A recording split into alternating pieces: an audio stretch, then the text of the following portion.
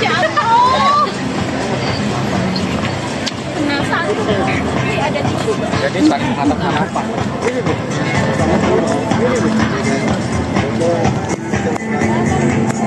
Kalau yang gede